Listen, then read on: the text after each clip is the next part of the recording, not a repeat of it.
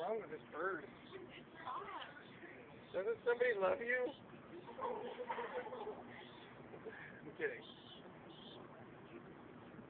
It's like really happy on my shoe. I don't know what to do for it.